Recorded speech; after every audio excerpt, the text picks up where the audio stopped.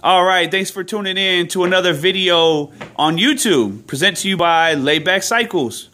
Precision Jimmy, take it away. Tell them what we're doing today. Okay, Jack, here we go.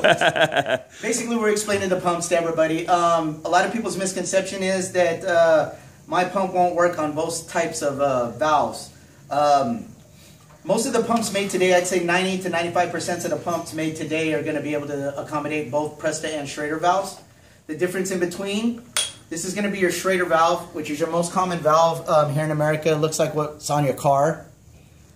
It's the nice thick one there. This is going to be a Presta valve. This is your skinnier one that's threaded all the way to the top. Difference in between these guys right here on the Schrader valve, you're going to depress this little button on the inside of the valve here, and that's what allows the air to uh, enter and escape.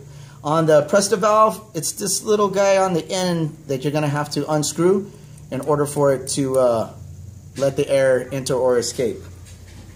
So on your pumps here, this being your most common look, this guy right here is going to be able to accommodate both of these valves with a single head.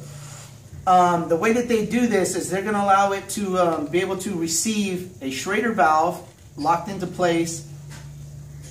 And you're going to be able to put air into this guy here simply by just locking it into place like you normally would on a normal pump. I think that's one of the most important things is some people really get the idea of the lever the way that it functions, they get it confused. So in this particular one, the lever. So basically, you depress the stem into the uh, to the head of the pump with the lever in the downward in the position. Down position, and then when you put it in its up position, it locks it into place. What it does is it seals around the stem itself, doesn't allow any air to escape, and allows you to be able to put air into your tube. Awesome. When you're done with the Schrader valve, you simply just unlock it, pull it off, holds air. Done. Plain and simple, straightforward. Now when you're working with a Presta valve, it's a little bit different. As I was explaining in the beginning of the video that you have to unscrew this guy in order to let the air in and out. It's already unscrewed.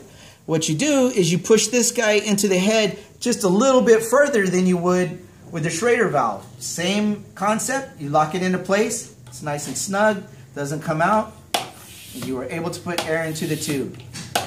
On the Presta valves, once you put your desired pressure into the tube, you unlock it, pull that head unit off, then you have to tighten this back into place so that no air escapes. So it's very important to put air in, you have to loosen it. Once the air is in, you have to tighten it down. Once that's tight, no air will escape. And this head will accommodate both your Schrader and Presta valves. We show them the head of this pump, which is actually This a double-sided head. is a double-sided head, which does the same thing. You're going to have a Schrader on one side and a Presta on the other side.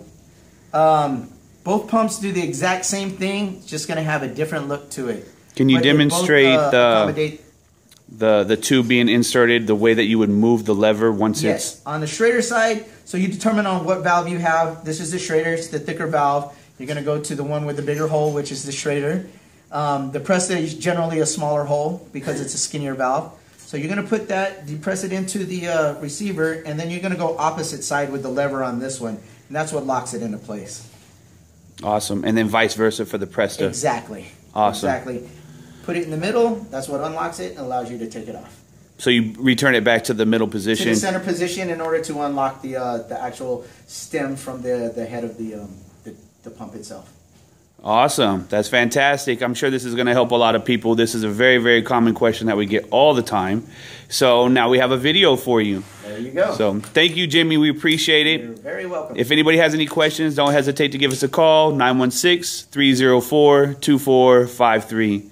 Catch you guys on the next one. Thanks for watching.